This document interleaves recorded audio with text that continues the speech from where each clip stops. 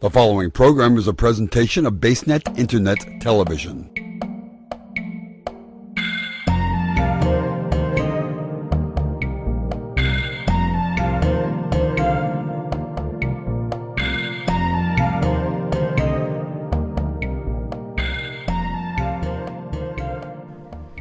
Viewpoint listeners. This is BaseNet Internet Television national political correspondent Tony Mizuko coming to you with episode six of Viewpoint. I'm here today with our producer and director of programming for BaseNet, Ed Jupin. Hello, Tony. We're going to jump right into uh, a couple of uh, primaries and or caucuses and a primary tonight. Oh yes, it is. Uh, you know, primary and caucus season. Caucuses, caucusi.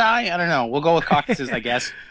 But uh, we're going to start off with Nevada, and we're going to take you through these results because they're not that unexpected. But there's a couple of things we've all got to know about Nevada, what it means for the race, and then we're going to go into Missouri, Minnesota, and Colorado, which, ladies and gentlemen, might be a game breaker or a game changer. Briefly, I will say that Super Tuesday is March 6th, but uh, Tuesday, February 7th, might be known as you know really important Tuesday. really important Tuesday. Very, very Game changer Tuesday. Yeah, exactly. Pretty major Tuesday sounds good to me. But interestingly enough, or perhaps not interestingly enough, is Mitt Romney won Nevada. Not really a shock to anyone. 50% of the vote. This is I wouldn't say critical, but interesting for a couple of reasons. It's one of it's one of the first times you're seeing Romney really break very high out of his 25 30% mold in somewhere that he wasn't completely expected to dominate. There are a lot of Mormons in Nevada. There are a lot of uh, I guess we'll say moderate or business Republicans in Nevada, but 50% is critical because it's showing that he's winning half the electorate. Now, I know that sounds like it's common sense, but Ron Paul's 18%, and just to go over the results briefly, was Mitt Romney at 50%, Newt Gingrich at 21%, Ron Paul at 18%, and Rick Santorum at 10%.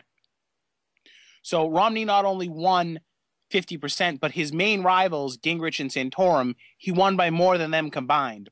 Ron Paul will fluctuate state to state, but Ron Paul's voters, although they may eventually support a nominee, are not going to abandon Ron Paul as you know he does worse in the polls, or if he does, or as he tends if he tends to do as well in some of the caucuses and primaries. Those voters aren't going anywhere. They're not your Jon Huntsman voters or your Rick Perry voters, or sooner or later your Santorum or Gingrich voters or your Romney voters, who as their candidates tend to go down in the polls, they're going to shift. Ron Paul will stay with his percentage, give or take a couple points. So it's interesting that Romney beat his rivals by almost 20%. But here's the second important thing that we need to look- at when we're looking at these uh, the results from Nevada. It's that Gingrich and Paul were within three percentage points points of each other, and I believe delegate wise that means Newt only wins one more delegate than Paul did from the Nevada caucus. So really, that's statistically almost a tie. Twenty-one point one percent 18.8%. You're talking about a 2% difference, although a victory is a victory in politics. That's really a tie, which is interesting because people who seem to be searching for that conservative alternative to Mitt Romney are really not flocking to Newt Gingrich. And you'll see this later in the results from uh, Minnesota, Missouri, and uh, Colorado. But I think that's very important to notice that Newt Gingrich, although he technically came in second, you could say he tied for second. My impression is he really tied for third with this. Gingrich needed after a Florida walloping, he really needed to come in and show some strength, and he didn't do it in Nevada. He didn't do it later on. But Rick Santorum did pretty weak in Nevada, which, if you were to look at that in and of itself, you would think that might spell an end for uh, Mr. Santorum. But as we get into Missouri and Minnesota and Colorado, you'll see that that's not the case. So I think what you're really seeing here is a Republican Party that is still trying to decide who they want. And I mentioned this last week in our last episode, and I'm always going to mention again. That's a good thing for the party. A knockdown, drag out battle is good for democracy and it's good for the party. And we're seeing that here now. But even before we get in with uh, the Minnesota, Missouri, and uh, Colorado numbers, Trifecta Tuesday. How does that sound? Trifecta Tuesday. there you Trifecta go. Tuesday. So We even one- before we get in with the numbers from Trifecta Tuesday, the numbers with the front runner up until this point, Romney, he's fallen even further behind in the head-to-head with Obama. Now, if he takes a significant hit on your Trifecta Tuesday, there's a monkey wrench in the picture here. you know, it's interesting. For the first time in the last week or so, uh, the first sec- first two weeks of February, you're seeing Santorum poll ahead of Obama. And I don't put too much stock in these And, and polls. but Romney's seen- falling behind him now. Right, and you've seen Paul poll ahead of Obama in certain polls. Romney's falling behind. Romney had always either parred with the president or been a little bit higher than the president. That is very, very interesting. But it's tough when you dissect those polls to determine what's really going on. Are people saying, and, and you know, it, yes, it's who you would vote for, but are people not picking Romney as much because they think he's not as likely to win, or because they're not as thrilled with his candidacy? What the ultimate truth is, we'll probably never know. But I think that's very interesting that you're starting to see Romney, who did fantastic in Nevada. I mean, winning a four person election with 50% of the vote is, you know, astounding. I mean, that would win you a Cajun election if you were down in Louisiana. That's very, very interesting. And he's starting to slip. Why is Mitt Romney starting to slip? Do we think it's because of Gingrich? My own opinion here, viewpoint, is that I don't think it has anything to do with Gingrich. Gingrich won South Carolina, but that was so closely eclipsed by a win in Florida. And most of us have very short political memories, and I think the media contributes to that. Gingrich's win was overshadowed by Florida. Does it have to do with him releasing his tax returns or, or, or, you know, not releasing his tax returns and how wealthy he is? His comments about he's not concerned about the poor, which were taken totally out of context. I don't think it has anything to do with that. I think it's a reflection that people are now questioning Mitt Romney because he's failed to deliver that knockout blow. So I think a lot of the people who now Mitt Romney's not polling ahead of the president it's because some people are actually interpreting that as who's more likely to win than who you would actually vote for. Because let me tell you one thing somebody who was considering voting for Mitt Romney this early in the game and was previously in the Romney corner is very unlikely to switch to Obama. Because a lot of moderates in polling in every primary and caucus and election always shows this. A lot of moderates and independents don't make up their minds until very close until the election. So I don't think somebody who's unsure of themselves and unsure of their vote right now is actually going to say, oh, you know, I was a Mitt Romney fan. I don't like that comment. I'm now a Barack Obama fan. So, in dissecting these numbers or uh, attempting to dissect these numbers here of what's happening or not happening, I'm going to throw out something that I haven't heard at all on mainstream media, nor have I heard it on new media. The wait, wait, sorry, I've, I've got a break in here. CNN just brought this breaking news: Barack Obama won the Democratic primary in Colorado. Oh my gosh. Yeah, shocker there. They they you know, they're they're making a big deal about that. But sorry, go on. Wow, Barack Obama won. Look at that. Amazing. He just might win his nomination, huh? Yeah. um I'm going to throw out the age factor. Okay, now this is a BaseNet TV exclusive here because nobody is talking about this. Think back in recent presidential history. Uh, both Bill Clinton and George W. Bush were early what early 50s or something. You know, give yeah. or take Rick Santorum's age when they were elected to their first term. Sure. Okay. Then you had Barack Obama who was only 48 or something when he was elected to his first or maybe only term. Now, after having three presidents in a row being in their early 50s or so in in their first term, do we want to go back to a grandfatherly like person? And I'm even going to start it with Romney at only 65. Uh, do we want to go to somebody from 65 plus, which is Romney and everybody else in the race? Well, Ed, let me. I'm going to go into this for you, and I'm going to give you my own opinion and explain a couple of things here. When I was a young kid, and George H.W. Bush was running against Bill Clinton, I actually, and I, I'm, I was under the under the double digits had no idea who um, had no idea about politics, couldn't tell you what a Republican was, what a Democrat was, but I supported George H.W. Bush over Bill Clinton. And I have hmm. very few memories, okay. but I remember H.W. talking about why we were going to war and, and you know, addressing the country and, and some vivid memories of the Gulf War. And I remember Bill Clinton and Ross Perot, oddly enough, I remember very fondly. Right. And I remember Bill Clinton playing the saxophone on Arsenio Hall. And George H.W. Bush reminded me of my grandfather. He reminded me of that, you know, that, that older kind of grandfatherly, knows what's best, you know, knows what's going on, and somebody you can trust and rely on. And whereas I didn't necessarily feel the same way about Bill Clinton at a very young age. I don't think he had lost with any kind of age, but I think in, this is going to be a bit of a generational uh, jab here but we're moving from older presidents who were part of that World War II greatest generation. You know, the generation that we trusted, the generation that did amazing things, the generation that sacrificed, that lived through real poverty. And now we're hitting, and I, I, this is not a knock at Mitt Romney, who, although was in his mid 60s, could easily pass for his early 50s, or Ron Paul, but we're moving more into older candidates who are not that World War II generation. And those are the older baby boomers who, and, and you know, present company excluded, of course, really screwed the country up. So I think that generational change might be that we're no longer seeing a World War II fighter pilot, a World War II actor, as Ronald Reagan was, whatever he happened to be. We're starting to see people who, like Newt Gingrich, who's in his late 60s or, or mid to late 60s, you know, they weren't part of the Second World War generation, and they're not quite the younger, you know, 60s and 70s generation. And I think that could possibly be happening. Now, Mitt Romney, I don't think the age factor is necessarily an issue because he doesn't present himself as somebody who's 65 or older. No. You you would not think he's that old by looking at him. He doesn't act that way. He doesn't walk that way. He doesn't dress that way. Ron Paul is definitely a grandfather. He's a grandfather, sure. He looks grandfatherly. But the lovable grandfather, and that's why Right, he's got his diehard following. Exactly and i think the fact that so it's interesting that so many young people are supporting the really old candidate in the race. But you bring up a very fascinating point that bill clinton very young very youthful george H, uh, george w. Bush if you look at pictures of george w. Bush from from right around september 11th or, or the first Oh, it, it's so- amazing. it it is you you know he is this very young looking president and he had that young and i remember during the time of the campaign everyone said you know he's the kind of guy you'd like to have a beer with. Yep. And which is something I've mentioned here before on uh, on BaseNet. And he came off as very young and youthful. And Barack Obama, of course, very very young looking, a, very young man. I mean, he's not he's not uh, an old individual.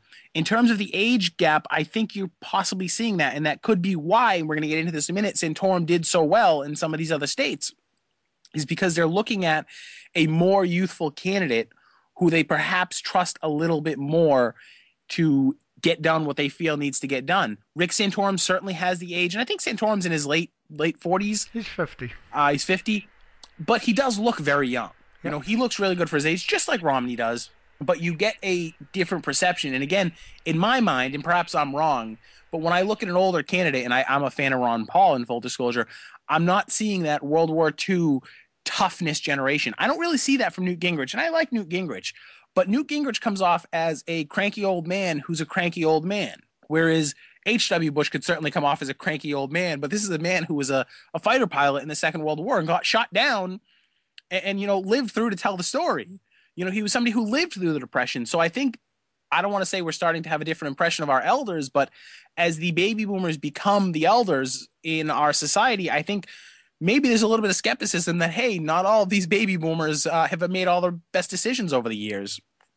Personally, I think we should throw the baby boomers out with the bathwater because I think a lot of them did wreck this country, and those are unfortunately the the Obamas and more so the Clintons and the H and the W Bushes. So I think that's where that age dynamic starts to come in. We're not associating, and perhaps it's a bad thing for society.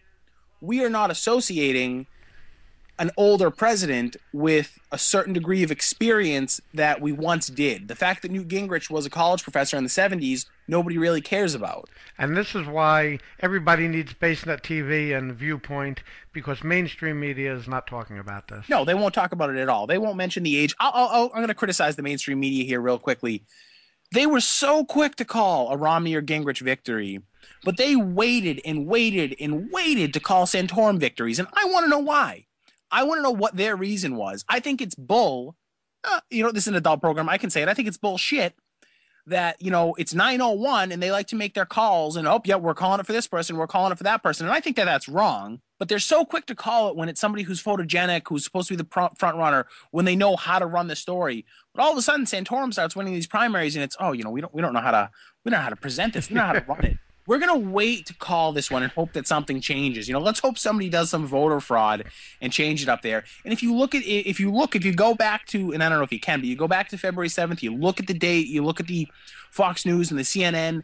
Anytime Romney or somebody won a primary, big and giant all across the screen, so and so wins the primary, and there's articles, well, Rick Santorum might change the race. Are you kidding me? He just destroyed Romney in a couple of these primaries, and you're you're just saying, you know, it's going to change the race like it's some little insignificant story.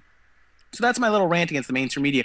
But you're right. Nobody wants to talk about age and the perception of age in the mainstream media because they're afraid they're going to offend people. Well, I'm not worried about offending people. I think, and again, don't take this wrong. Ed, Ed's not a baby boomer for those of you out there. He's he's a new millennial like me. Ed was born in 1982. hmm Thank you very Um, much. He, you know, a lot of baby boomers as they came through the 60s and 70s, they did ruin this country. They did have a lot of great ideas and got screwed up. And let me tell you something. Here's why I support Ron Paul over Newt Gingrich because he called it best with Newt Gingrich. He called Gingrich a draft dodger, and that's exactly what Newt Gingrich was. That's what Bill Clinton was too. Newt Gingrich tried to use the excuse in a prior debate that he didn't serve because he was married with a kid. And Ron Paul turned around and said, I was married with children too, and I serve my country. And that's a generational difference between these boomers and the H.W. Bush. When you had all candidates like Reagan and H.W. Bush on the stage, there isn't a single one of them that had any kind of a deferment or went to Canada or went to college or had some bullshit family excuse for not serving the Second World War. They all served and they all fought. And now you've got people up there like Gingrich, and this has happened for the last 10 or 20 years, who, you know, oh, I had a family. Well, Ron Paul had a family. Other people had families. And some of them didn't come back to their families because they went and served their country. So we've maybe lost respect for some of our older politicians because when you look at a man like Newt Gingrich, you know, that, that sort of moral authority that somebody like a Ron Paul has just isn't there. Now, you can't hold Barack Obama responsible for not serving in a war. I don't think he was old enough to fight in Vietnam. Yeah, he was an in betweener, so. Exactly. So I don't hold him against that you know, W. Bush and his was he in the Air National Guard? Was he not? I don't know what the deal is with that. You know, it's tough to say. Herman Cain, even who I'm a fan of, said that you know he served in the Department of the Navy. They said we don't want you to go to Vietnam. We want you to work on missile trajectories or whatever. Which, to be honest with you, I don't know how that works. So my guess is if you can calculate a missile trajectory, you're probably fairly valuable uh, individual. But so I think that's why that age factor might come into play because you're looking at somebody like a Gingrich in, in that level of respect and veneration that we have for that tough, tough World War II generation just isn't there. You had that level of respect with Ronald Reagan. He was he was grandfatherly and he was sage and he was wise and Gingrich tries to play like that but he doesn't come off that way and Ron Paul has a very different character I'm not saying he's not sage or wise he's a little bit more I guess I would say spry most people his age and the way he comes off, but you don't see that with Gingrich, and I think that's why there is, you know, a, a perception of the age is, you know what? There's no natural respect that comes to a political candidate, at least, with having been of a certain generation anymore. George H.W. Bush, I mean, you know, when he's on TV talking about this will not stand with Saddam Hussein, you, you got the impression that this guy in his late 60s or 70s at the time was going to jump over the desk and, you know, knock mm-hmm. Saddam out himself. I mean, you don't get that with a lot of these politicians today. I think to an extent the media plays a role perhaps uh, they don't intend to but you know it is about who's photogenic. And that goes back 40 years to the nixon kennedy debates where you know the, one of the first televised debates and you know nixon had the flu and he hadn't shaved and he looked like shit. And it's interesting because everyone that watched that first nixon kennedy debate or the first televised one if they watched it on tv every single one of them said kennedy won. Right. People that listened to it on the radio said hands down that nixon mm-hmm. won so there is that perception, and you know, I I'm picking on Newt Gingrich here, but you know what? It, it, it's it's partially my show, so I can pick on who I want. The guy looks like crap. He looks like a guy that's 68 years old and is at the end of his line because he hasn't taken care of himself. Yeah, just a frumpy old guy. Yeah, frumpy old guy, and you know, overweight, and, and not like you know that little weight that comes with middle age. Like you need to lose 40 pounds overweight, Newt you know, get on the treadmill or something. And I think that photogenically, Newt's just not there. Whereas Rick Santorum is very photogenic and you know Mitt Romney is very photogenic. Barack Obama, in full disclosure, a man who you know I hate with a passion, is very photogenic. He looks great in a photo. I don't understand. Real side note here, you know, pictures of the president. He sometimes seems to be very, very gray, and sometimes he's only moderately gray in relation to his hair color. I don't know what's going on there. I don't know if somebody's tweaking those pictures, but there are sometimes he looks like he's dyed his hair completely silver. Well, that's that's one of those conspiracy theories that there's two Barack Obamas as well, and they they march out a different Barack for uh, different events, just like there were supposedly a bunch of different Saddam Husseins. So yeah, that's that's actually a conspiracy theory that floats around out there that there's more than one Barack. Oh, is it really? That's a riot. Yeah. I've got to. I've got to look that up. That yeah, is... and they they also say um, something about. I, I don't believe it's the tie. I believe it's like you know how they normally wear the flag on their lapel or something. Yep. The two Baracks wear different lapel tacks and uh, you you can supposedly tell which Barack it is because the one Obama has the grayer hair and he's got one type of lapel tie. The other Obama is um, less gray and he's got a different type of tack on the lapel. Ladies and gentlemen, Google this stuff because this is fascinating. I can't believe people out there actually believe it. There are two Barack Obama's. I don't know what the deal is with the man's hair. I just noticed by looking at the pictures. Maybe you know it has to do with his menstrual cycle or something. so, so what's happening on your Trifecta Tuesday? Oh, Trifecta Tuesday! Right now, I'm telling you, Trifecta Tuesday, copyright BaseNet Internet Television. That is our term, Trifecta Tuesday. Well, ladies and gentlemen, Nevada Shaw, uh, did not show Rick Santorum much love, but he did get shown some love in Missouri and Minnesota because he won both of those primaries. Now, how big of a fact is it that Missouri isn't a uh, isn't awarding any isn't awarding any delegates delegates tonight? They're they're they're uh, going to caucus in March, I believe, sometime, and then that's right. when and the delegates will be awarded. Newt was not involved in Missouri. Right. He did not get on the ballot, which is another thing. You know, again, my show, I'm going to bash the man because I feel like doing it. Newt can't even get on the damn primaries and all these ballots. What kind of legislator is this man? Yeah, because he missed Virginia as well. Yeah, 55% or so went to Santorum. So what that shows is everyone virtually that was voting, some of Paul's people, but everyone that was voting for Gingrich went for Santorum. Santorum is the conservative alternative. Mm-hmm. Romney only won a quarter percent of the vote, which is interesting. That's that quarter percent we keep talking about here on Viewpoint yep. that Romney can't seem to beat. And in a fairly conservative state or a state that tends to pick a more conservative candidate, Romney couldn't get above that quarter again, he's going to win Missouri in the general election. I'm not worried about that. But it's about that voter turnout. It's about that enthusiasm. Santorum trounced them in uh, in Missouri. Paul held on to his 12%, which, you know, I would say between 8 and 12, maybe an average of 10 or 12, is that hardcore Ron Paul. That is not going anywhere. That is never going anywhere. That will turn into a write in vote for Ron Paul, uh, short of some, you know, uh, agreement at the convention. Not a very big win for Paul. A resounding defeat of Romney. If Romney had come into these three elections and won handily, if Romney had won Missouri, I would probably be willing to say it's a wrap up because the man just won a state in the South handily, but he didn't. Romney lost it. He lost Missouri. The fact that their delegates don't get uh, applied to later in March, Super Tuesday could have an impact on where they go if Rick Santorum collapses between now and then, sure, they'll go somewhere else. Because I think it's one of those states where they're not obligated to go by whoever won it. They can go wherever it is they want. Or I think it's 33 are supposed to be tied to the uh, caucus on February 7th, and there's a couple that are unpledged. Mm-hmm. So they'll go along with where they're supposed to, unless, you know, if Rick Santorum drops out next week or before Super Tuesday, they'll just pledge. Um, they'll actually they'll go to Romney, which means it'll be a wrap up for Romney for the most part. Definitely a mistake on Newt's part because he would have done well there and he could have chalked up another win. Whereas unfortunately, Newt's looking at three losses for Trifecta Tuesday. Now, moving on to Minnesota, and I'm going to pull up the latest from Minnesota here. Yet again, Rick Santorum won Minnesota. And, and, oh yeah, again, breaking news: CNN did also call Minnesota for Barack Obama, just so we're there, just so we're getting there. But interesting enough, Minnesota, which is very, very different from Missouri, uh, you know, outside of Massachusetts, all these states are the same to us. Santorum won, and Paul came in second. So that's a very interesting difference there that Minnesota, which is not as conservative as Missouri, but Minnesota does have somewhat of an independent streak, is pulling for Ron Paul. Romney came in a pathetic third. And he swept Minnesota four years ago. Oh yeah, he did, and he came in third. I mean, that he came in below Ron Paul. He's supposed to be the front runner. He can't even beat Ron Paul in in a state that he just he blew away McCain in Minnesota four years ago. Yeah. So that goes to show that people just aren't, and I don't know what it is. Romney's not a bad guy, but people are not set on Romney. I think you know, I think it's that Romney doesn't excite anyone, and that's kind of the problem there. And maybe that's what happened in Minnesota is he's not exciting enough. I had a theory about last year, or last cycle's presidential election, that the main reason McCain lost is that he wasn't different enough from Barack Obama. And I think that's where people, and I'm not saying Romney and Obama are the same way, but I think that's where people see Mitt Romney as not being a stark enough contrast. People want change. I don't mean Obama's hopey, dopey, changey thing. but people traditionally, you know, they vote a party, uh, a party into power.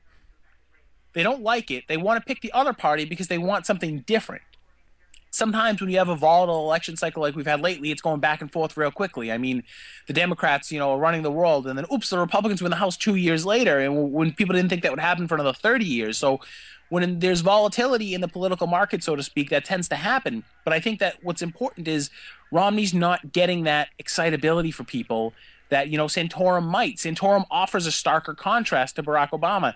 Now, if you have half a brain out there in, in, our podcast land and you really know the facts, you'll notice that you'll know that Romney is very different. He gets hit hard on healthcare a lot, which I think is why a lot of people are hesitant to go. A lot of more conservatives are hesitant to go with him because they say, well, he passed healthcare in Massachusetts that's very similar to Obamacare. And let me debunk that really quickly for all of you here out there in uh, in our viewpoint listener land. Barack Obama and you know Obamacare and Romney Care. Oh, let me start this way. Mitt Romney was governor of a liberal state in Massachusetts. A liberal state that is Massachusetts, not a liberal state within Massachusetts. Although in Massachusetts we have many towns and cities that sometimes pretend they're not part of the state, and some that we actually wish weren't part of the state. But that's another uh, another issue altogether.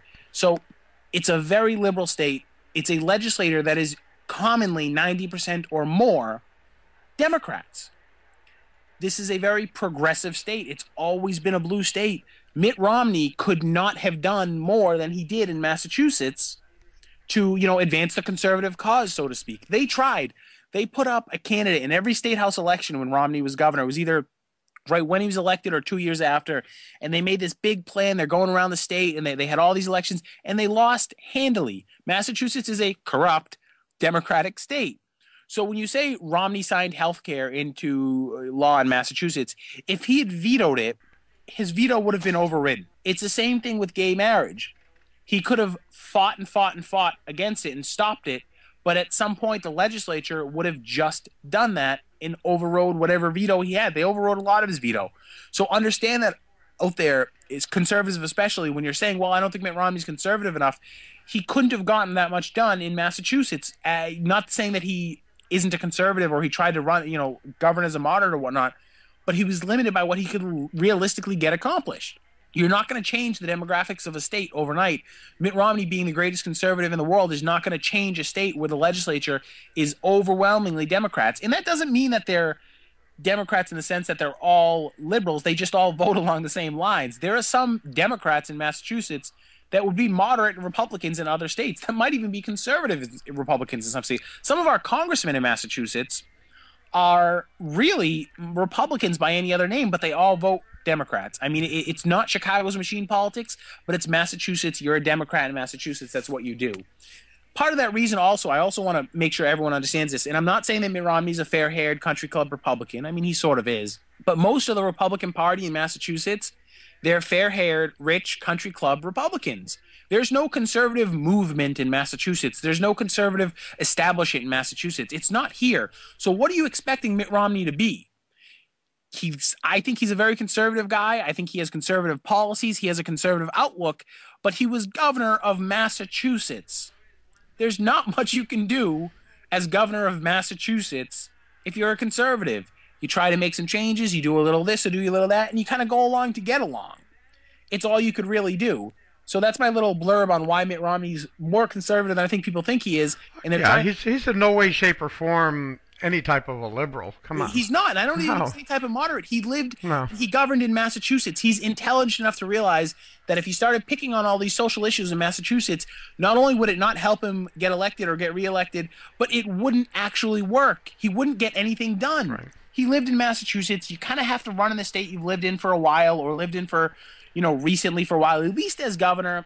Other positions you can pop in as a senator after two years and, you know, like Hillary Clinton did with New York. She'd right. never lived in New York, showed up, ran for Senate, ran for the Senate and won. I mean, she was also a former first lady, so that's a little bit different. So, I mean, Romney did what he could do. He ran for governor of his state, and that's probably why he only served one term. Comparatively, you could say Deval Patrick, a progressive liberal Democrat, has had a lot of policy successes because everyone seems to agree with him in Massachusetts. Mm-hmm. Uh, so that's where you got to understand. We're going to move on, and, and, again, I'm going to go back to uh, talking about Minnesota's results just to finish this up. Gingrich, poor man, came in fourth. I think I'm willing to make a prediction that although Gingrich will probably hold on through Super Tuesday, because at this point it's less than a month away, I think Gingrich is done. I mean, he he couldn't get on the ballot in the state he needed to win. He did terrible in Minnesota. He did poorly in Nevada. And Colorado, Gingrich's results were pretty, uh, you know, underwhelming, really. He's just not really pulling what he needs to pull to win. And, and I think even if Gingrich had won one of these, eh, I'm not really that sure he's going to, uh, you know, he's going to really pull it off. it's just it's it's unfortunate. Let me pull up his some of his numbers from Colorado. Yeah, I mean Gingrich is just not he's just not able to pull it off. I think he's done. I think we're seeing the nail in the coffin. Oh, also breaking news. I don't know if I mentioned this. CNN also predicted Barack Obama would win the Democratic nominate the uh, Democratic primary in Colorado. Just because you know, thank you CNN for putting that on there. He received all the delegates. For those of you out there who are wondering, so Barack Obama's delegate count is currently all, whatever the number Uh, is. nobody voted for Hillary. I'm surprised. We should have another Operation Chaos this year where people try to nominate Hillary. Yeah. But yeah, so uh, you know, Gingrich just did terrible. I mean, I'd have to plug all the numbers in, but I mean, he might have done worse than Ron Paul. Not that I'm bashing Ron Paul, so any of the Paul listeners out there, but I mean, you expect Paul, and I believe me personally, I would hope he would do much better. But he generally polls second, third, fourth, and I mean, Gingrich is just doing terrible. He's Polling under Paul for the most part. and some of them, and he's losing to Romney and Santorum. So you can be the second front runner, you can be the runner up, you can be the alternative, but he's not even the alternative. He's he's the garbage. I mean, it sounds mean, but he's the trash that needs to get taken out. You're gonna have, I think, a Romney Santorum battle with Ron Paul as a third alternative, or Ron Paul holding up the libertarian wing of the party. Mhm. But it's really a Romney Santorum uh, a show, and I think that After Trifecta Tuesday, it is. Trifecta Tuesday i- i- is, you know, in some ways might be more important than Super Tuesday. Rick Santorum's political career, and I've always said this, I've followed it for years. He was polling at, you know, one or two percent nationally in Iowa. Rick Santorum got screwed, and honestly, I, I can. I'm a very conservative individual. The Republican Party or whoever ran the elections in Iowa, they should all be lined up and just pushed out of the friggin' country. I'd say something worse than that, but I'd probably end up in the uh, crosshairs of Homeland Security. But we should deport every last one of the bastards to some terrible country like Canada or something like that, so that you know they just don't get to live in America anymore. The man won, and they couldn't count the votes. I mean, it's 2012. It's been 40 years since we sent a man to the moon, and these idiots can't count votes. I mean, Rick Santorum really, really got screwed. You can't imagine the difference out there in, in podcast land between, you know, a tie, a small win, and oh, wait, Santorum actually really won. He got screwed by Iowa, but he did well in Iowa, and he was nobody before that, and then he was propelled, and then he didn't do so well in uh, New Hampshire and in Carolina and in Florida. And now all of a sudden, Santorum is back. You know, this is a smart man who has played smart politics, and he is still in the race everyone was saying Santorum should drop out. Recently, a couple weeks ago, Gingrich was saying Santorum should drop out. Well, I'll tell you what, if I was Rick Santorum and I was up on the stage tonight, uh, on a Trifecta Tuesday, rather, I wouldn't have given a nice speech about winning and going forward and the alternative. I would have turned around and told Newt Gingrich to kiss my ass. Mm-hmm. Because Newt Gingrich can't even seem to get on the ballot in the primary, let alone win them. You know, Newt Gingrich said very, very early on when he before he was a front runner, before he was polling high, when everyone was talking about somebody else, that he was going to run the most unconventional campaign, something nobody's ever seen before, and this and the other thing. Well, yeah, you know what? Nobody's ever seen such a terrible campaign before, Gingrich. I mean, come on, get on the ballots, will you, man? And he just insists that he is taking it all the way to the convention, and he's just going to divide his party even further. he, he's going to get alienated because I'm telling you, the conservatives that are out there, once they rally around someone, once they've left somebody, they're not going to go back to them. Right. These polls are going to get people thinking that Gingrich is crazy, that he's not got a chance to win. And if the media does their job, which they won't because they tend to screw things up, they'll stop focusing on Gingrich too because he's just not really Prevalent. yeah, exactly. I mean, how much coverage can you give the third person in the you know in third place? And I know some Ron Paul supporters would say that you know Ron Paul doesn't get enough coverage, and I think they're absolutely right. He doesn't. But you know, when you start looking at the message and the types of candidates that these are, Paul has a very distinct and clear message. Romney has his message. Santorum is sort of a counter to that, and then Gingrich is sort of eh up there and in the middle. And I think Gingrich's problem so far has been that he's got the ideas, he's got the intelligence, but he comes off as an asshole. Just cranky, like you said. He's Yeah, absolutely. cranky. He- he's a you know, you you look at Ron Paul, who's just even, even when he's even when he's serious, he's this happy-go-lucky grandfather type. He is, and you know, and he, he believes in what he believes in, and he has his his values, and he just I think believes in a better country. Whereas I think Gingrich just believes in being better than people or being mm-hmm. smarter than people, and, and the, the all the negative elements of his personality are just showing through so much. And Gingrich is really a brilliant man, despite the fact that he can't get on the ballot in a couple of states, which you know I don't think is actually hard to do. Gingrich is a brilliant, brilliant man, and he just can't pull it off. He doesn't seem presidential enough. He seems like a great Speaker of the House, like a great legislature, but he, he legislator, but you know, Gingrich is just being a jerk, and people are picking up on that. The big ideas have to come with the ability to communicate those ideas as well, and that's where he fails. What was one of the best things people always said about Ronald Reagan? About what was Ronald Reagan great about? He was the great communicator. He was able to communicate these ideas to people with a sense of, of passion, but a sense of importance and urgency. And, and I hate to use the term, but I mean a degree of professionalism. You listen to, you know, Ronald Reagan speak, and there's a calming factor. And yes, he was an actor and he had trained all that. We know all that. But when you listen to him, there was something about him. There was a certain sincerity there. Whereas anytime Gingrich speaks, there's sort of a I'm trying to prove I'm smarter than you. I'm trying to prove this is right. And he, he's right on so many of the issues. Gingrich also early on earned a lot of favor by people because he attacked the media, always popular among people. Still does. Still does. Yeah, he has no use for the media. Yeah, and he had said that he was not going to go after his opponents. And in any time you're running against somebody in a race, you do have to go after your opponents. Yeah. You do have to, you know, attack them. But Gingrich was really the first one to start getting really dirty. Mm-hmm. And for somebody who says they're not going to be, you know, the, the candidate that goes dirty or goes after his opponents, and then you start getting so dirty, and then you start throwing out cheap shots like, oh, Rick Santorum should get out of the race and he should just drop out. Well, I'm sorry, Gingrich, but this is this is why it is what it is. This is why it's coming back to bite you in the butt. I don't think Gingrich can take it all the way to the convention unless by some miracle he wins every contest on Super Tuesday. I think Gingrich is done. He's got that one rich backer out in Las Vegas that's going to continue to give him money and continue to fund his campaign. But even that guy at some point has to look at it and say, you know what? It's just not worth it. Gingrich just can't deliver. Gingrich lost Trifecta Tuesday decisively. Santorum won Trifecta Tuesday decisively. Well, now here's a point about Santorum, who has no money either.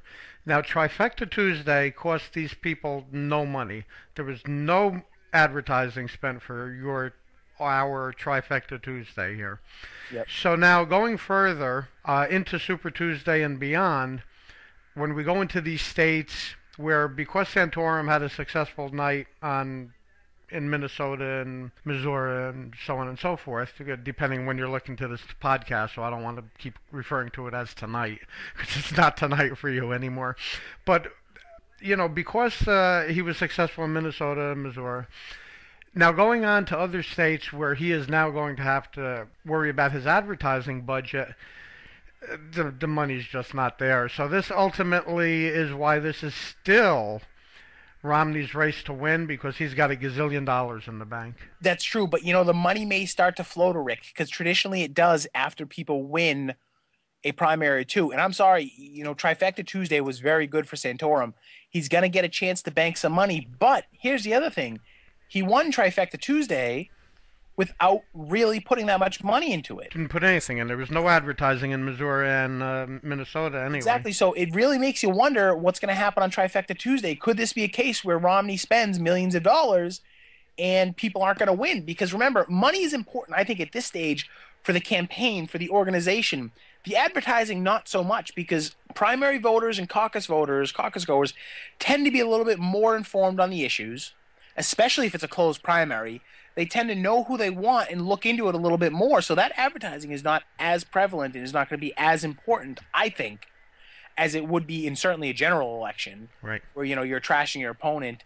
I think that Romney's cash advantage is only going to show through in the organization because at this point in the game, it's going to be tough for Romney to put out an ad because what is he going to do? Is he going to attack Santorum in the ad? Well, what if they both look bad and Gingrich gets up? You know, is he going to attack Paul in an ad? Well, that's not going to get you any favors. His supporters will probably hack your website, and you deserve it. You know, Ron Paul might throw out a couple of his ads, which Ron Paul's ads are always very entertaining, but they're a little mm-hmm. out there. I guess like him. So I, I think that that might be Mitt Romney's problem is he might have the money, but Super Tuesday is too many contests. You know, and then we can't forget about Maine coming up. Uh, what is it, the 28th of May or the March? next Saturday? As, as we're recording, next Saturday. Uh, so that's what the the 11th, the 12th. Yeah. The, yep. And so, that's and that's still um, leaning towards Ron Paul.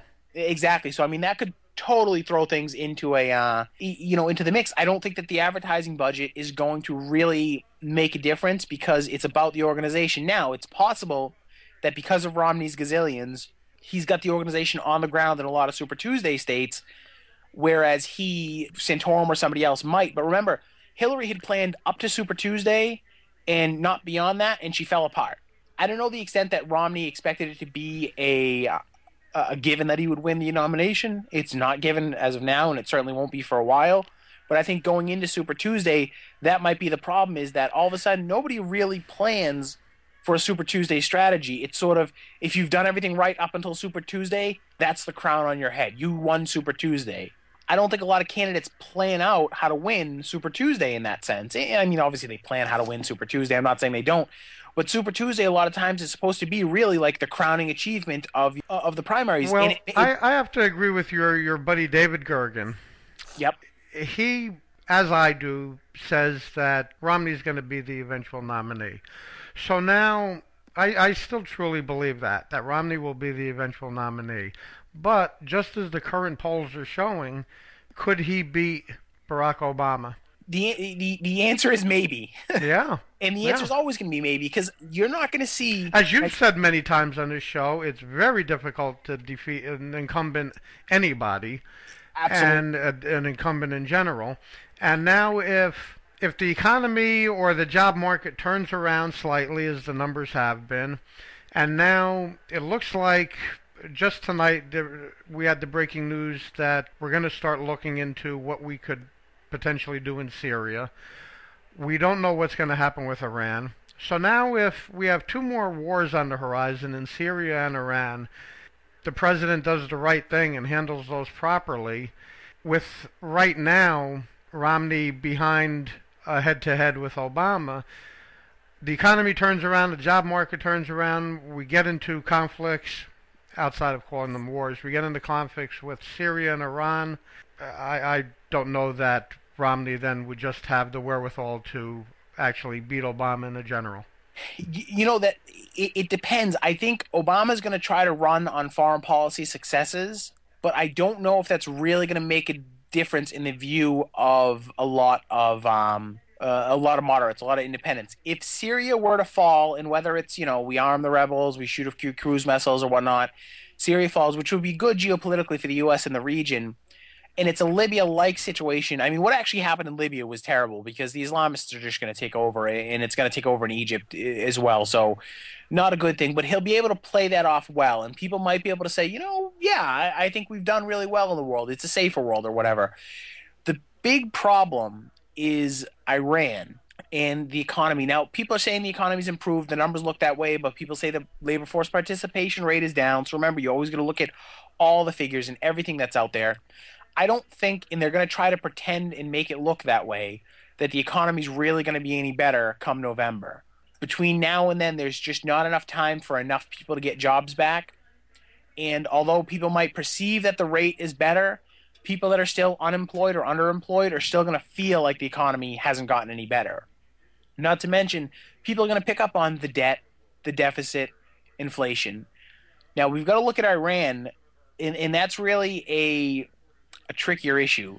I don't think a conflict with Iran would necessarily be a small conflict, and a bigger conflict that would take more time would be complex. I don't know how the public would feel about replacing a president in the middle of a conflict, unless it's a conflict we're not supportive of. Iran and the United States, it's interesting. I was actually earlier today looking at a map of Iran and trying to figure out what they're going to do in the event a conflict would break out, what they're trying to do. Because, you know, I don't really have anything else better to do with my time than stare at Google map of Iran and try to figure out what they would do.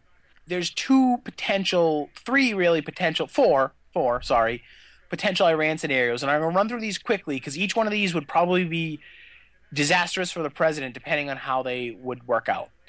Iran doesn't really have the ground capabilities to launch a ground war against one of its neighbors. But Iran rallies their ground forces, and instead of closing the Gulf like they said they were going to, they could invade Afghanistan. Now, that could end up seriously. You could see thousands upon thousands or tens of thousands of U.S. troop deaths because I don't think we're really equipped in Afghanistan to go against, you know, tanks and artillery and stuff like that. I don't think the Iranians are going to win long term. The damage to them is going to be far more than it is to us, but all of a sudden, them slamming across the border, which is actually not that easy in that region, would do two things cause a lot of U.S. casualties, because I don't think our forces are designed in Afghanistan for that kind of conflict. And again, the Iranians don't exactly have the greatest ground force in the world. It's not that I'm worried about tank for tank the Iranians being able to beat us, but, but, but no, by any means. but it would cause a lot of disruption, cause a lot of death. People wouldn't be happy, and it would cause a great deal of instability. You would probably see the Afghan government fall. That would just create a nightmare. I mean, it would. God only knows what we would do in that situation. We'd literally be trying to reoccupy the cities we're already occupying. That's option one. Not going to end well for the president. Not going to end well for Iran either. But if Iran preempts that and we respond, it's going to be very tough for people to be supportive of the. Actually, that would probably be the best scenario for the president because he could say we're responding to an attack on our ally and on our forces. Option two, we have withdrawn from Iraq, our combat forces. Iran is only about a day's drive across the desert from Baghdad. Right. They could take everything they have and slam it right into Iraq. They're not going to be able to invade and occupy Iraq forever. But let me tell you, the sight of Iranian tanks running down Baghdad is going to really, really screw things up. And what's our solution in that? We'd be back at war in Iraq. Back in Iraq. Dragged back into Iraq. It would be uh, that would be a disaster for the president because they'd say you took our forces out and this happened. And Iran's not doing that to occupy Iran, Iraq and take the territory.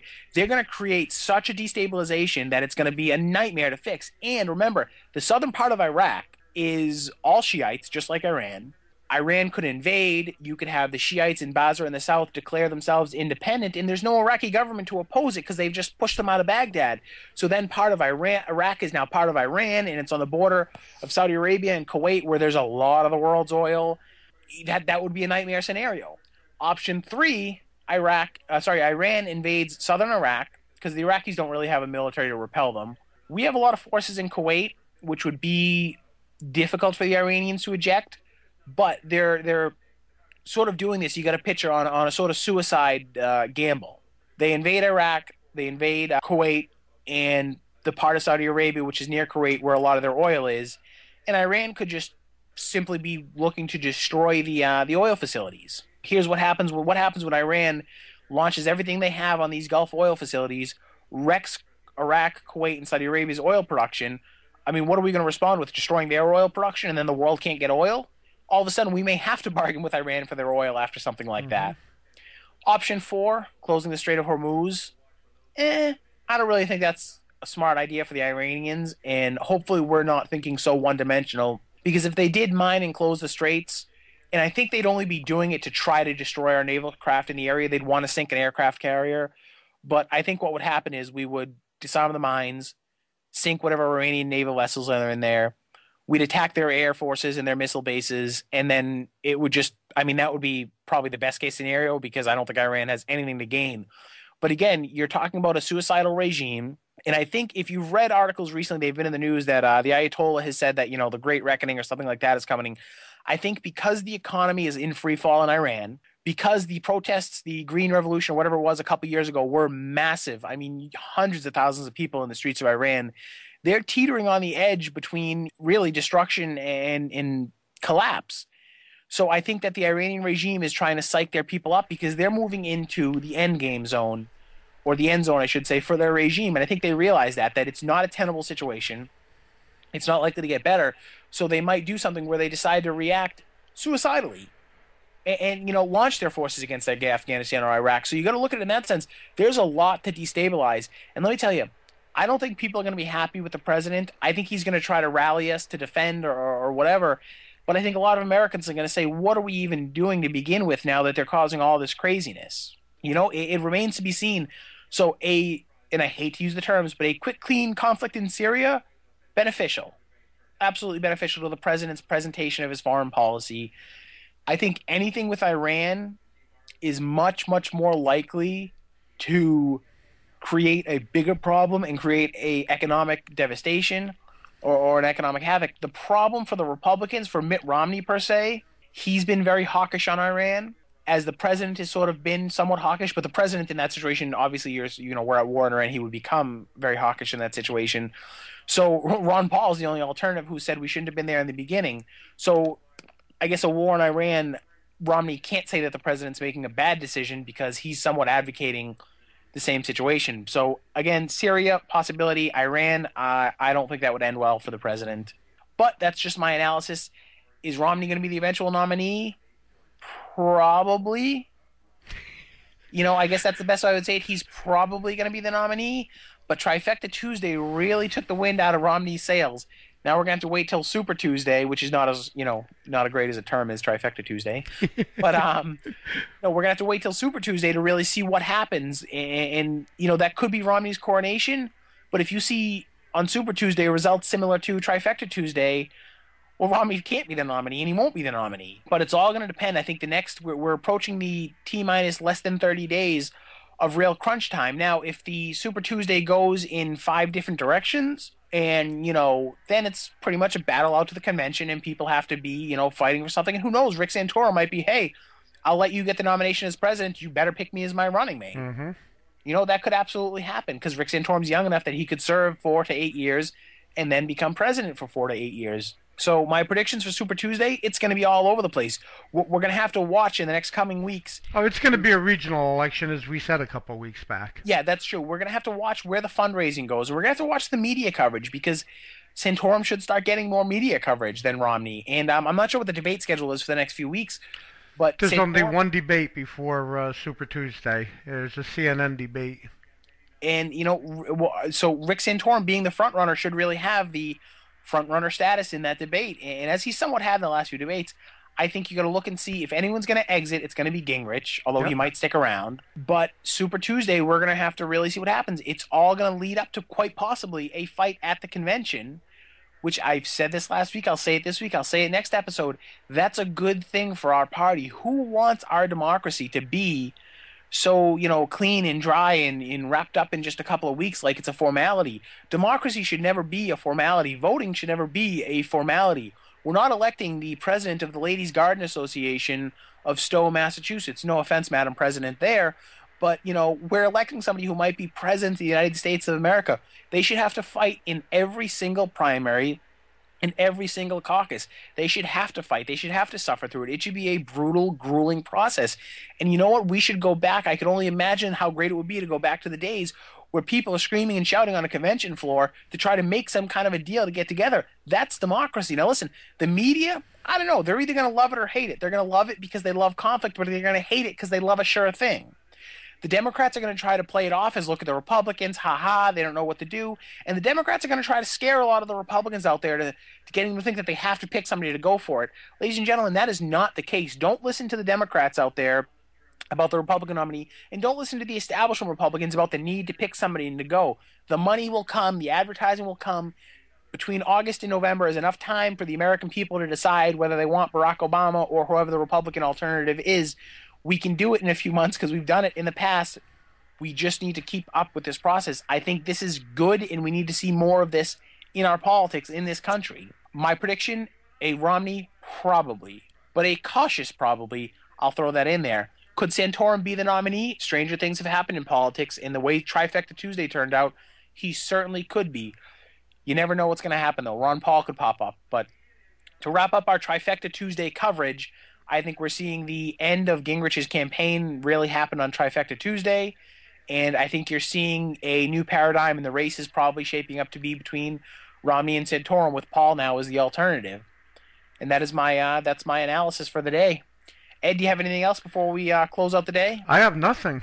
All right. Well, everyone, thank you for listening. As always, we encourage you to visit us at basenettv.com, basenettv.com. You can find us on Facebook, we're on Twitter and Google Plus and all that jazz. But always, always, always, BaseNet TV is the best place to get to, where you can link to not only Viewpoint but all of our other shows. You can listen to episodes of Viewpoint and Ed. Are we still on iTunes? Absolutely. I suggest you download us on iTunes. You can listen to us in the car. You can listen to us at the gym. You can listen to us when you're supposed to be listening to somebody else. Those of you who are out there in college, pop an iPod in. Listen to Viewpoint because it's probably more than your professor is going to be showing you. Just to wrap up episode for today, throw the ba- throw the baby boopers out with the bathwater is uh, the tagline for today. And just remember, out there in podcast land, Trifecta Tuesday is copyright based on internet television. Thank you everyone for listening, and we look forward to next week's episode.